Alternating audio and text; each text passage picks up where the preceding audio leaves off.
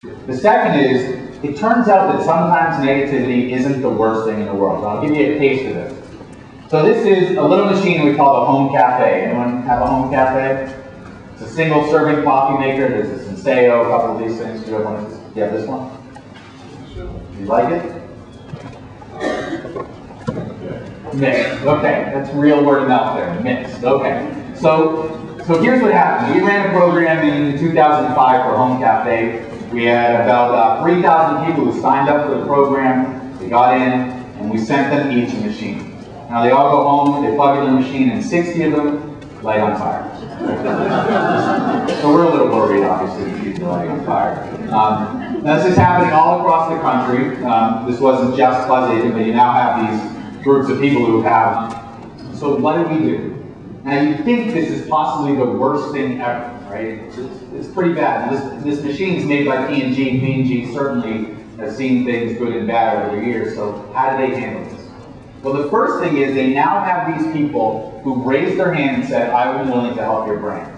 So these people are waiting to give them some help. So the first thing P&G does is they reach out, like a real-world focus group, can you read the serial number on the back of this machine? They find out within hours exactly which pallet and which factory has manufacturing issues, and they stop shipping. The first thing is they're able to stop things very quickly.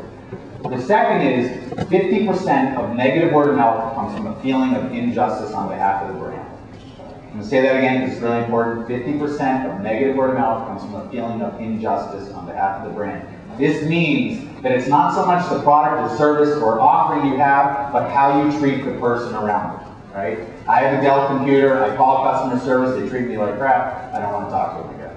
iPod has a battery issue, they fix it. These guys are great. Right? So they immediately sent all these people new machines. It was not even a question, not even, you know, how are we sure it's your machine that's on fire? They just sent them out. Many of these people in this campaign became the most outspoken positive advocates there could be because the brand chose to take care of them. The last thing is really the most interesting though. This is a pattern we see all the time. So when negative word of mouth gets really loud, in this case, people were stopping consumers at the point of sale, don't buy that machine, it's going to light on fire. They were they were writing things online. They were saying, you know, the machine cut you if you used it. People were making stuff up. It was terrible. But what happened was there started to be this group of people who came out to protect the brand. You know, yeah, come on, that's, this is ridiculous. It's not cutting you. They had a manufacturing issue. They fixed it. It's a great machine. I have mine. They send me a new one. It's really good. And we call these people quiet advocates. People who would never say anything positive, they'd never really become outspoken, but the minute there's anything that's really negative, they will come to support the brand. And these people, we've seen this in hundreds of campaigns, these people will always show up, and they will always be the most powerful people because they're going to help offset another consumer saying something negative. So if anything ever does happen badly for your group, um, look for these people, you will see them, embrace them, help them learn how to help you solve the crisis. Okay, the last thing about word of mouth to make sure that you're doing is to disclose. As I said, um, you know, you've got to make sure that people are open and honest about their involvement in any type of campaign. Um, this is a snapshot of a report that was created by Northeastern University. It's called To Tell or Not to Tell. What they found was telling people that you're involved in the word mouth program actually is good for marketing in general. It's, it's helpful, you're showing trust, you're engaging. This, this thing proved, though, that if you do that, your word mouth travels twice as far than if you don't. So if you try to hide that you're you're helping a company, you're helping a brand, your word of mouth goes so far. If you tell someone, oh, I'm involved in this thing, yeah, I got to join, it was really fun, they told me what they wanted me to help with, your word of mouth goes twice as far. So the practical value disclosure is very important. It's not only good for trust, but it's really important for making your word of mouth programs work. Okay. Okay. So one question here a lot of people ask is why is this happening? Why is there word mouth going on all across the country? Why are people signing up for the system? Who would do this? This is crazy. So, so show hands who might sign up for a system like ours. Okay? Show hands who never do this. Come on, you're out there. All right. Only one brave person. Come on. Okay. All right. So this was this is sort of a question. Why are people doing this? This is this is ridiculous. So this is a picture of actually our first campaign when we started this business in late 2001. Um, I went out to 10 companies, offered our wonderful service to them. They all politely declined. So I offered it to five of them for free, and four of them said no. One company said yes, Penguin Publishing. They said, you can work on this book called The Frog King. Um, what this is is a little picture of the instances of word of mouth that we created with 400 people who volunteered and said, yeah, well, I guess I'll help this book, why not? Now, that this book did its entire year's sales in the two months of our campaign. Okay, now we figured out over time how to turn this into media, and we turn it on and off for specific products and programs over time. So this is a snapshot of word of mouth across campaigns. The question is, all these people doing this, 220,000 people are doing this. What's going on? So, here's why, okay? This is an advertisement from the 50s, okay? Fat off cream. This is wonderful obesity cream, okay? This really worked, I promise. Um, now let's look at it next to something like this, okay? This is Hoodia, for everyone who's getting those emails from Hoodia about um, reducing weight. This is real. Now this is the exact same app, 50 years later, okay? Looks a little different. It's exactly the same, right? This has a little more as seen on TV and trust and whatever, but we're being told the same thing over and over, and it's really hard for us to believe it anymore. Can it really work? Come on, this can't work, right? So the, the, concept for us as consumers is, I'm not sure I can believe what marketers are telling me in all these channels because everything's perfect, everything's great all the time, everything's going to do what it says it does, but I know it doesn't. The next worst thing that happens as it relates to the sort of weight loss here, um, we've got KFC advertising that eating Kentucky Fried Chicken is good for you. It's really good. This is a major national advertising campaign. They're, they're comparing to the level and they say, come on, it's only three grams per piece, you should eat buckets of it, you're going to lose lots of weight. Now, we all know what the truth is, right? And KFC is fine, but it's not your weight loss mechanism, right?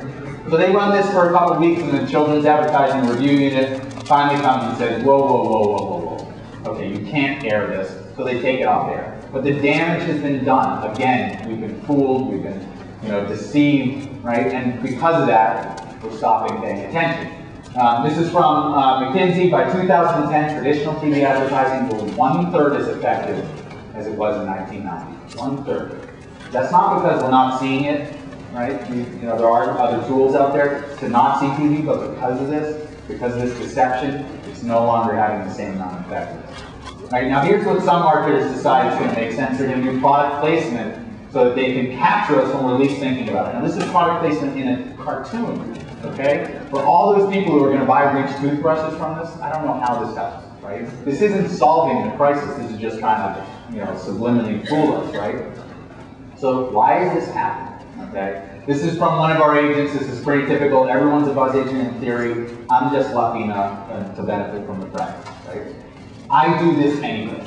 Now, what we found when we ask agents, come on, why, you know, what's this all about? What they talk about is something we call social currency. It feels good to know about things and to share it with others. I like to be the first to know. I like to help people. I love to give my opinion. I feel like my friends think that I know more than they do because I know about things, right? The idea of sharing an opinion or giving one or accepting one is about social value. It actually is worth something to talk about products, services, associations, communities, whatever it is. So when you talk about engaging word of mouth, it's part of this process of giving people something so that they feel good when they talk to others. All right, so let's talk about measuring word of mouth. This is really an important thing that we need to understand as we do this for lots of companies, and certainly as you do it, um, very important to know is it working.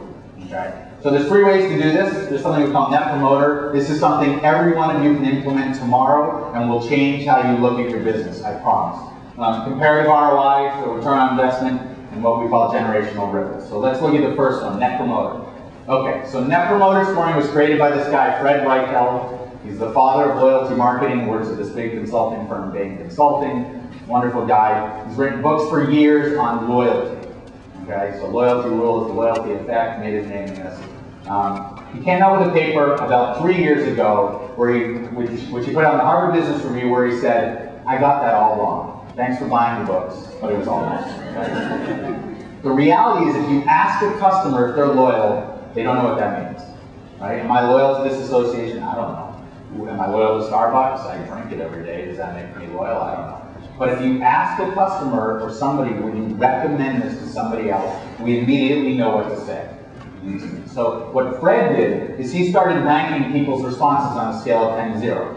Rate from 10 to 0, would you recommend this?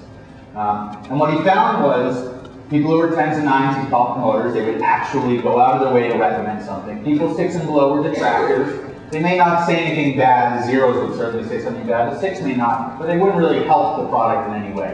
What he found was if you subtract the detractors from the promoters, you get a score.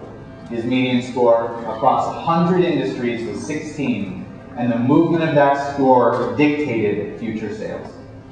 They actually showed you whether or not you were going to grow, whether you were going to shrink, whatever you were going to do. You proved yourself over and over and over. It's really simple. Anytime you ask your, your uh, members anything, anytime you ask people around you anything, would you recommend us to somebody else? That would be a great gauge of whether or not you're succeeding in what you're doing. And I promise you it works. We've done this for a lot of associations ourselves. It absolutely works. So this is an easy takeaway. If you take nothing else from this, take this away. It's very, very good stuff. Okay.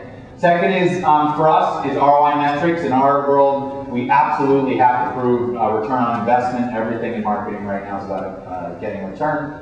So we do a lot of things where we actually do control markets versus markets where there's word of mouth. Uh, this is a campaign we did for Dunkin' Donuts for Latte Light, and this is really interesting. We took four markets uh, with word of mouth um, and, and all other traditional media going on. We did four markets without it, but all other traditional media was still going on, and the markets with word of mouth did 26% lift in sales. Now this is really important because it means that we're not the replacement vehicle for all this other stuff, but we're the stuff that accelerates it. Right? Traditional media is good at generating awareness, it needs credibility to succeed. So you can actually generate lift by doing the things you do every day and then adding consumer dialogue to that. Right? Very important. Okay. So the last way we measure word of mouth is like this. So this is um, this is a picture of ripples in a pond. Um, someone dropped a rock or did something, maybe it was raindrop. So we think of traditional media like the rock. Okay the rock dropping into the pond, how many people are going to see this message? Now, we all know what happens to a rock when you drop it into the pond, it sinks, right? Now, it doesn't mean the traditional media isn't very good, it just means that it's a one-time event. You drop it, everybody's supposed to pay attention to it.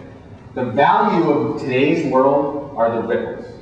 How many people are going to go out and communicate with somebody else? Now, I'll put this into practice for you. So, this is how most marketers value their media, okay? How many people are going to read it? How many people are going to see it? Um, you know, you know, this is The Rock, okay? I can get, you know, whatever my rating point is on Fox, so because that millions of people are going to see it, of course, they're going to pay attention to it. Now we know that's not true. You know, you've got things like TiVo out there. You know, I, you know, you're going to ignore it. You're going to do whatever. But even if you do see it, what happens from there, right?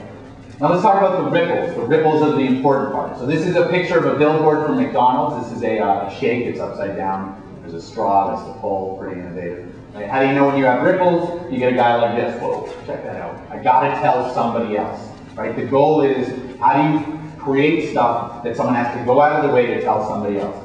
Some other ideas of this that I love. I have no idea. I always wonder if she's drinking the cup at a different angle, what happens. Um, this is one of my favorites. So, you know, what's this? What's this thing? little keyhole thing.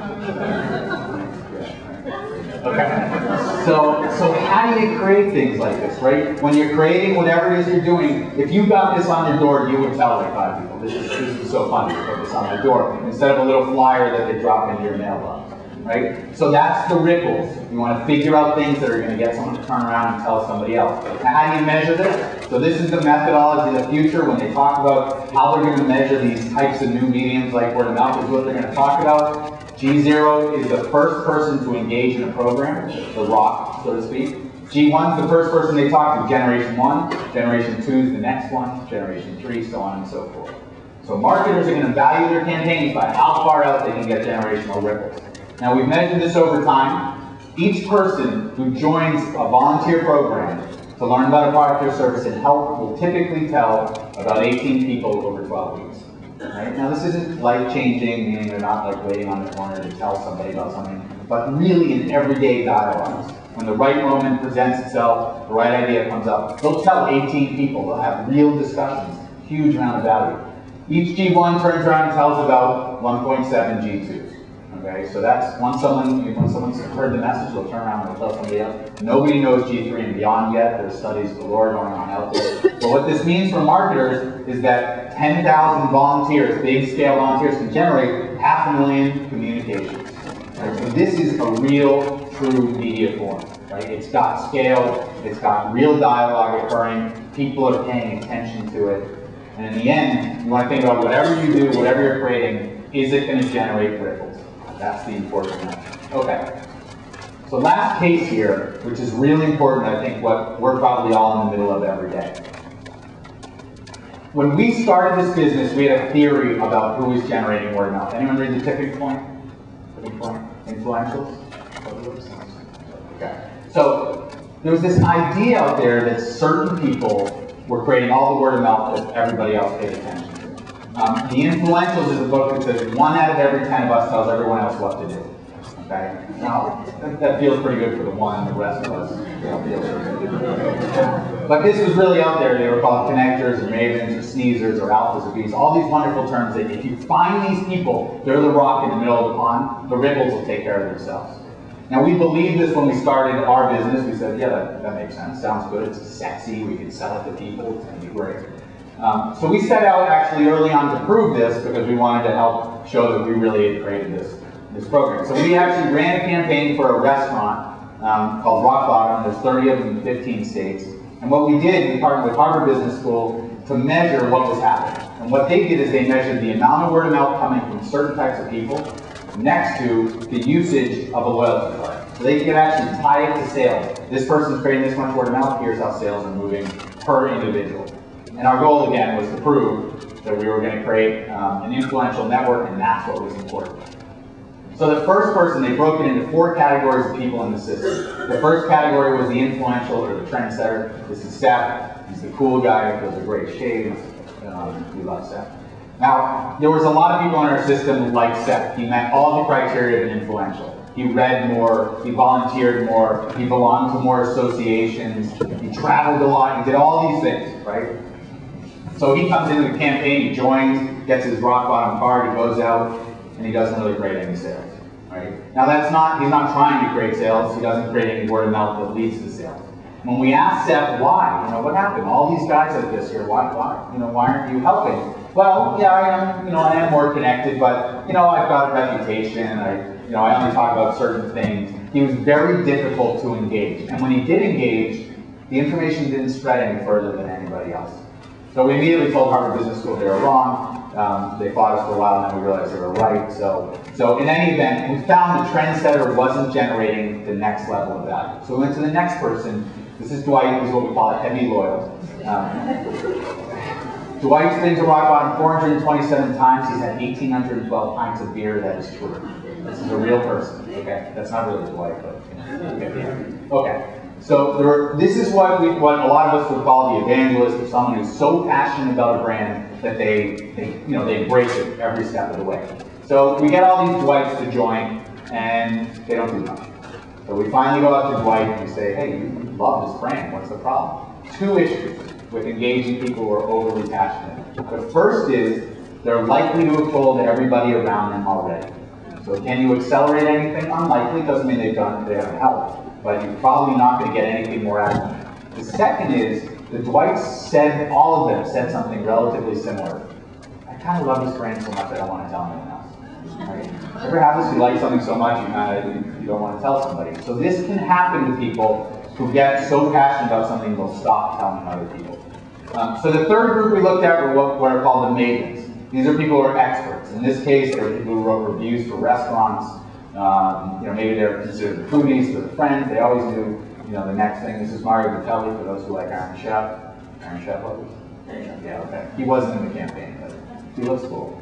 Right? So, so, but there were a lot of people who fit this name and profile. And when we ran the campaign, they actually created quite a bit of impact. The problem was they only did it for two weeks. Right? And then out of 12 weeks, they only did it for two, and then they stopped. So we went back to these folks and we said, well, what's the problem? They said, well, my job is to continuously find new things. I'm an expert at food. I will talk about rock bottom for a little bit, and then I move on. So in the case of what some of you do, you may want to consider that. If there are people who are experts at associations or joining things like this, they may continue to move from place to place and will only help you for so much time. So we looked at the last group. Okay, this is what they call the light loyals. This is the group that rock bottom never cared about at all. Now, if you ask them that, they never say it that way, but they really didn't. This is what they would consider as the sort of bottom of the consumer, you know, customer relationship list. You know, yeah, they, they only showed up to rock bottom a few times. They never really did anything. This is Mary. She's a light loyal. Um, she's been to rock bottom three times. She's had seven beers.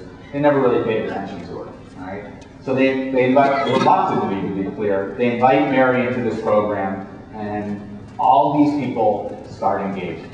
Okay? They go out, they talk to others around them, they pay attention, they get new people to sign up, they, they go and talk to everybody. Now, we couldn't believe this data when it came back. We've run this about 100 times, the same study over and over, and we found the same pattern, which is these people are the people you want to pay attention to. They've got a few things going that can help. They haven't influenced the network around them, so they've got a lot of people they can influence, right, that may not have any idea. They have no reputation issue. They, they don't really care whether they're considered a foodie or are cool or not. They just want to share good ideas. Um, and the sort of most important part is most of us aren't really conscious of the things we talk about every day, right? We don't pay enough attention. She didn't even know that she really liked rock bottom until they reached out. She was like, well, yeah, yeah, rock bottom, sure. I'll, we have that thing on Friday at work. I'll invite everybody. So she created, and all the other loyals created all the difference in this program. Now, some stats on it. She generated 1.2 million above trend in sales, increase in card sign up, increase in frequency of visit, increase of spend per visit. All the metrics went through the roof solely because of what we call everyday people. So you have in your groups all these people. You don't have to wait for somebody special. They're all here. They're all waiting to be paid attention to. Find them, engage them, get them to be involved. You will generate change, I promise. So last thing here, and then let's move on to some questions if you guys have them. Um, when companies come to us, we talk to them about what they need to do to figure out how to engage word of mouth. Right? We talk about things like starting to market with their customers instead of at them. Right? Let them involve themselves in what you're trying to do. Don't just try to push stuff on them. Um, but the most important thing is give your people some tools, let them know you want any help, give them things they can talk about, get them to be involved, and then most importantly, get out of the way and let them do what they can do best, which is talk to each other. Okay? So thank you. Questions, comments, ideas, issues? Perhaps that's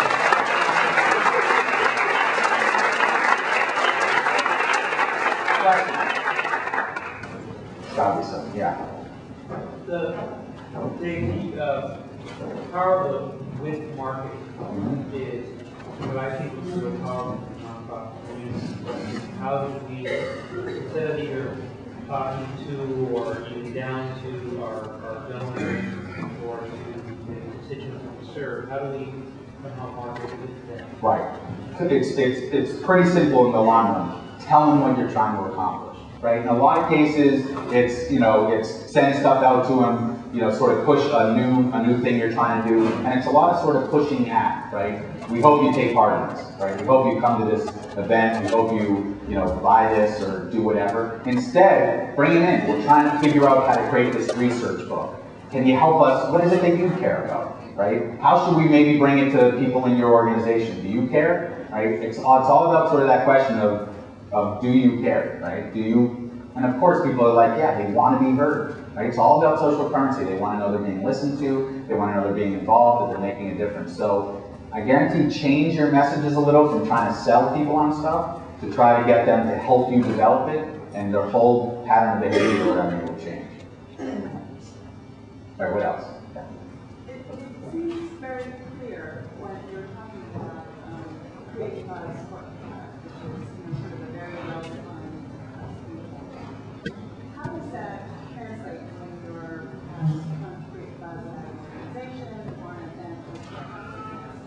Right. So the, the question is, you know, we could do this for, you know, Anheuser-Busch, that's pretty easy, or, or some company like that. How do you do it for an organization?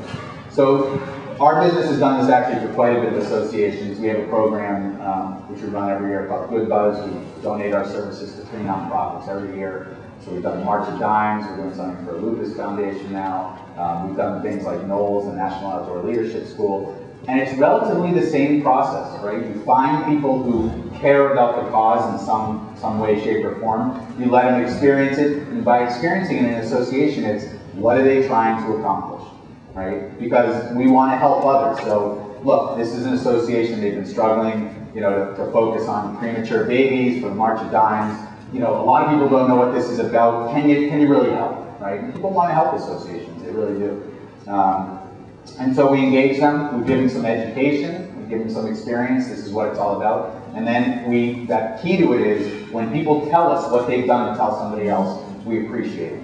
We tell them what worked, what didn't, what we liked, how amazing they really helped, what, what they're doing has changed, what they're thinking. Sometimes if they give an idea that's really gonna help something else, we tell them, right? I can't believe you just thought of that when you told someone else we're going to tell everybody else who's in this program, right? Make people feel really good that they're having a difference. Um, the same thing will, will happen. So um, I see it as very much similar to any package good. It's figuring out, finding the right people, letting them engage, and then telling them what they did was really powerful and helped you quite a bit. Microphones, right? They want you to use the microphones. Yeah. I just want you to talk a little bit more about how you do that follow-up. Do you do it word of mouth again, or do you do it on paper or email or whatever? Right, so- How long? Right, hold on. So in our system, um, and this is, this is, you know, why companies hire us to do this as opposed to trying to figure out a lot of it themselves. And there's an easy way to do this, but our system is a technology platform. Individuals who sign up for the campaigns can then log into their account and fill out a form. Those, those narratives that we get all go into this pending queue of people who read them and then reply. And they do that all through technology. But you guys can do it very simply through email, right? You know, email us what you're thinking, but you gotta have someone at the other end reading those emails and truly responding. It's not automated, it's not, you know, thank you, we'll get back to you. It's, hey, that's really cool you mentioned this. Um, I, I love that your brother joined, sounds like a great guy, you know, I wish I had a brother like that, blah, blah, blah, right? But it is, it's that personal stuff where people, you know, it's about emotion, right? People feel that they're really talking to somebody real and getting, getting involved. That's the big difference. Um, so, so you can do it very easily. Start with email, things like that. Um, you know, just just start having the dialogue. You'll find people change their tone very quickly. What else? Yeah. What can you do to encourage constructive negative response? We've done some outreach to our audience with volunteers, not staff, and everybody loves everything, they're just busy. Right. They don't want to tell you the bad things. Yeah, that's that's actually a great one because um, that's really hard. A lot of people, especially for these, this type of industry, you know, they don't they know you're trying to do a good thing. Right? Very easy to say this beer is terrible or this car doesn't drive well or whatever, but no, we know you're trying to do a good thing. We're going to tell you how great it is. Um, I, I, guess I'd have a couple of tips, and we saw this a lot actually in the program we run where we couldn't get enough negative stuff. Um, tip one would be tell people, I don't want you to ever report anything that's positive. Right? We know you love us, but the only way you're going to help us is to tell us where we can work on things. Do it anonymously, give them an, an alias email address, give them something where they don't feel they're like outing you and you're going to read it and then they're going to they're going to never want to see you at an event again because they'll hate them, whatever, right? So give them an opportunity to, to take out all that positive, you know, make it, maybe even do for the next week, only tell us negative things. You can tell us all the positive things again. We really need to know these things. Um, sometimes examples really help. So when people hear negative word of mouth, they think um, the G6, that car sucks, right? That's what they think. What they, what we talk about negative word of mouth is a lot of products, you know, have something like it's a great product, tastes really good, but it's really expensive, right? Or I don't like the packaging, it tears when you open it, or you know, the, the organization never got back to me, but overall they're doing a good thing, right? So try to make sure it's clear this isn't just about how terrible you are, but about the little things you might be doing that you need to work on to make all the good stuff better. Okay. What else? Other questions? Come on, I couldn't time this audience. Yeah. And anyone? Yeah. Either or either here. I have a question about figuring out how much information to give to engage the other party without having them sort of glaze over and lose you, you know? Right, it's a sales pitch. Yeah, like, I don't want to hear this. Yeah, that, that's actually a really good key. One of the things we spend a lot of time on educating these people for is that they aren't salespeople, they're not gonna read from a brochure or tell you all the things, but it's, we, we provide people what we call a buzz guide to help them get into the mindset. It's about the right moment, the right thing, right? So you do all these wonderful things for the entire year for your group, but this conversation I'm having over here might be only about one thing, about great events. And so that might be time to just talk about the great events that you're having, not about all the other membership benefits you have. And so what we, we educate people are is think about the right people to talk to, think about the right moments, and don't go out of your way to sell anybody. This isn't, this isn't like getting someone to buy today. It's about having that real dialogue that's going to get someone to think about the things that are important to them. And so that you will find, if you have this dialogue with them, if you set up this email thing where you're, you're going back and forth, you'll have to actually train out that behavior, right? You'll get someone to write you like, you know, 40 paragraphs on like everything they said, and you can caution them, hey, you know, just so you know, you don't have to, you don't have to tell them everything at once, bite-sized chunks, um, but let people feel like they want to have that conversation instead of um, being sold about something. Yeah. Do you need a technological mechanism for the um, for measuring the rippling effect? So especially over generations two and three. Generations two and three are, are uh, we don't even know generation three yet. So, we, but G1 to G2, um, you do in some senses. I, I'd like to say we were far enough advanced. You could probably do it in other ways. I'll tell you how we're. I'll tell you how Northeastern actually, the university is doing studies, is doing it. They're giving, and actually this can be replicated, so this would be interesting. And if people do this, we want the data. So, so, so you probably do some direct mailings, or you do some. People could pick up something at an event. On, on when we send out kits for our campaigns to, to an individual, we include a card that says we're doing a study. We want to know how far word of mouth spreads. If you tell somebody else about this, give them the card. On the back of the card it says, come log in here. You can do it through, through email again fill out a survey. When did you hear about this? What did you think? Did you pass this message on to somebody else? Now we're getting to G1. And then we tell that person, if you tell somebody else about this, give them the card. So what they're doing, and we're doing this for hundreds of thousands of people over time, is that card starts to pass along and we start to see how far, because then that person comes in and fills out their report and we got it. Right, yeah, it's good. So you can thank Dr. Walter Carl at Northeastern if you, if you did it. Um, so, so that's a pretty simple one. It, just include a little card, put some messaging on the back, and you'll probably start to see a little bit of, of traction. I'd actually be interested, you know, we have got this 1.65 metric, 1.7 metric. For nonprofits, it might be 20, it might be 1, right? It would be interesting to see how it changes by category. Okay. Yeah, I think she's going to go first and then come back. Very hypothetically, in a hypothetical organization that has a long and difficult name, I'm wondering how important the name is to generating word of mouth. So say that again. So so let's say there was an organization with a really long name. Yeah, let's just say that. Let's just say. Yeah. For the moment. For the moment. How do we counteract that via word of mouth? Yes. Change the name. Thanks. Or you can ask people what they would recommend. Then you involve them. Do we need to change the name? Sorry. a ten-year discussion. um, another question, yeah. I just wondered if you could comment on sort of the most receptive target audience for Buzz. It's got to be, there have to be some generational um, issues or challenges or um, Right. envelope Right. So, so who's the most important people to, to generate word of mouth or to target when you're talking about word of mouth? Um, so an interesting thing in our system, our system grows organically. We don't market for people to join. 70% of the people in the system are women. Right now, I like to say it's because men are so emotionally repressed, they don't like to talk about anything. but, but it is, you know, women are making a lot of decisions for households. They're, they're sort of driving the economy at this point. Um, so women is, is a huge, huge target. Now we talk about things called communities of influence. Um, and I'll use, I suppose, a really, I'll sort of an obscure example, but one that you, we want you to think about when you're thinking about doing this. Let's say you were looking to target some big shot to fund something in your organization. Some big CEO somewhere, you know he's got cash, you know, he could do but you can't get to him. Now, you want to use word of mouth to get him to pay attention to this. Now, a lot of a lot of companies come to us and say, so we better engage other CEOs because CEOs only talk to CEOs, and that's how it's going to work. But the reality is, you want to think about who that CEO is getting information from.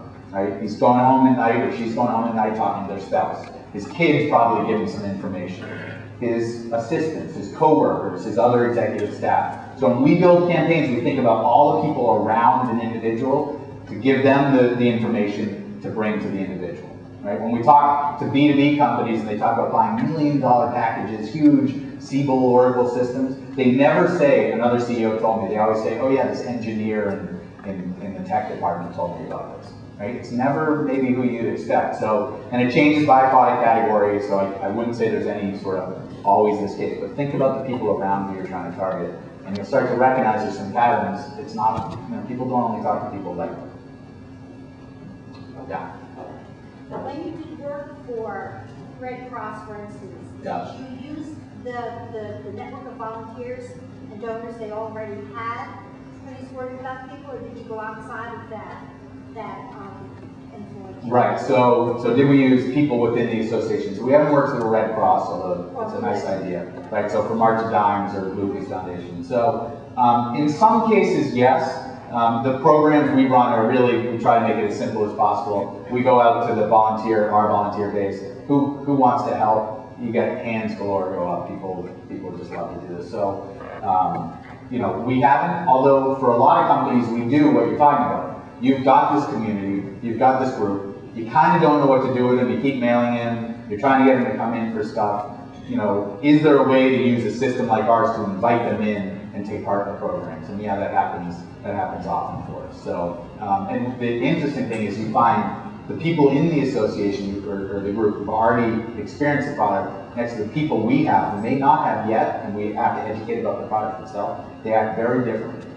Um, you know, it, it's sort of a, where they are and sort of the scale of, of knowledge and how they're creating word of mouth is really different. Sometimes the people who haven't experienced before, the newness makes them accelerate much quicker than the people who've already experienced it. It's really kind of fascinating.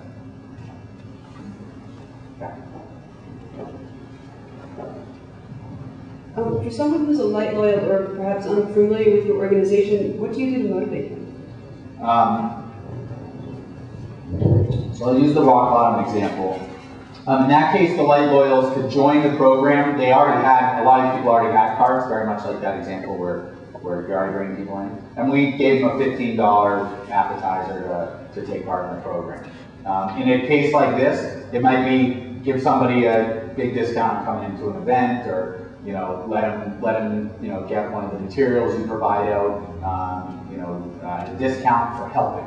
And there is a, there is a piece of this, um, we call the reciprocity theory, or it's been out there forever. If you give somebody something, they feel indebted to? The, the sort of wide-known case for this um, is the Hare Krishnas, um, who used who was a failing organization. Everyone know the Hare Krishnas. They walk around, they ask for donations. I don't know. Okay, so but this is this is the case. This is what happened. They were a failing organization. They totally were falling apart. They couldn't figure it out. And then one person was like, well, why don't we give people flowers? And, you know, who knows? So they gave people flowers, and then, as soon as they gave someone a flower, they gave them money.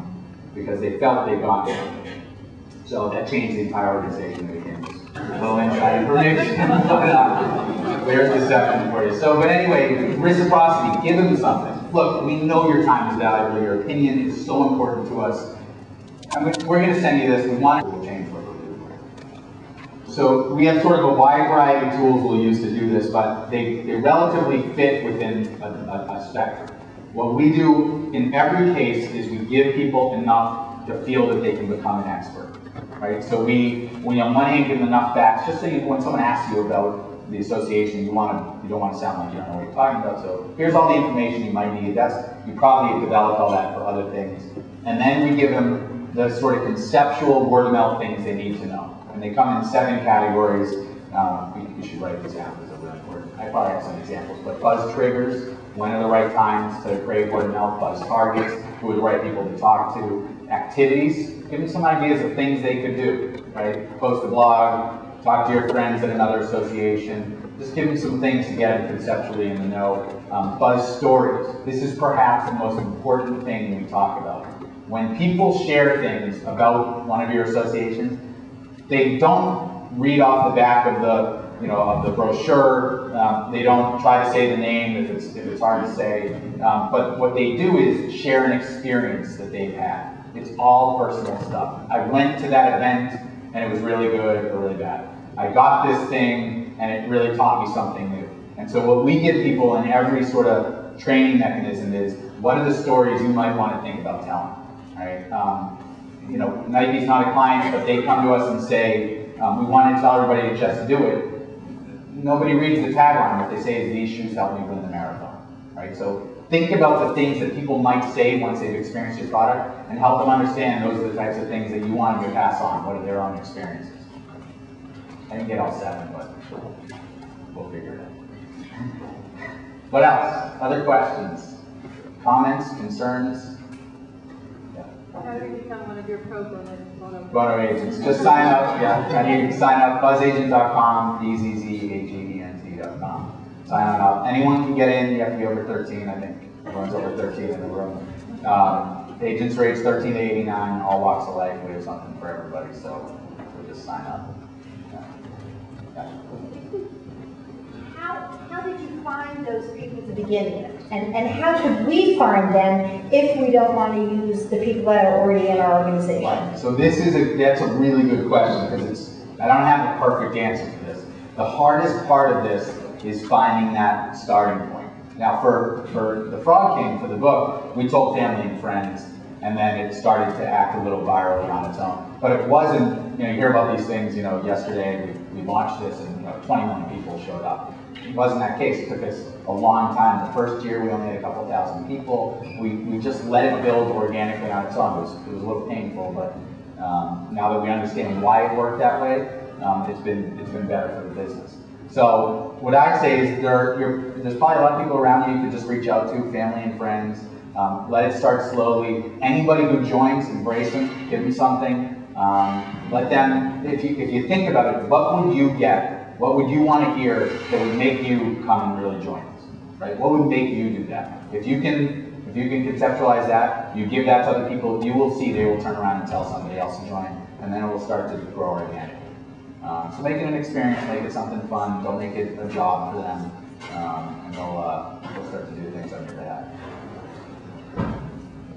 What else? Other questions? Comments? So you said that the traditional media and stuff like that's really important to give you a base if you work out and whatnot. What I mean, so it seems like the, you know the Papa John's thing that was like really good for creating more talk. What what are some examples of things that you know are a good base to sort of then uh, to move of. Yeah, so what other types of traditional media, right? So I think it's, you know, this is really hard for a lot of the marketers we deal with. They're spending lots of money and they create things that they know really probably aren't effective, but they look cool and flashy, and so they do it anyway, right? Um, I wouldn't say it's any specific type of thing, but thinking about something that they have to turn around and tell someone else. So some TV commercials do it, right? Some are really boring, we don't pay attention to them. Did anyone happen to see the Spike Jonze Gap commercial where they trash a Gap store? Did you see this? They, they, they actually, yeah, you've seen this, right? They get that smile when they see it. They, they accidentally, supposedly accidentally released it on the web and everyone saw it. But it's this fascinating where they're redoing Gap and they film these guys just destroying the Gap store. It's really funny. Look it up online on YouTube for 1.65 million. but um, but uh, you know, so so it's create. It's not saying none of those tools could have the thing that could get somebody to pass on to someone else. It's using the tool effectively, right? So the traditional Gap commercials, no one really started paying attention to them anymore. We've seen that before. They did that slow motion dancing thing. It was like the Matrix. It was really interesting, but now it's not, right? When they did the Matrix thing, it was really interesting, right? So so now they've done this thing where they're demolishing stores. That's one step there. Um, now I went, just as an aside, I went and spoke at Gap about a year ago when this came out. All the executives, nobody even knew that commercial existed. They had no idea. So I'm sitting there the room telling them how great it is, and they're like, we don't even know that. Okay? To show, and, and that's something really important. A lot of people forget to pay attention to their employees, the people who go home on the weekends, and the first things their friends say to them is, how's, how's the Gap? Right? How's the association? Right? You're the people who can carry the most knowledge to the people around you, and some companies just totally forget to pay attention to them. So um, I chastise Gap for it, and they forget.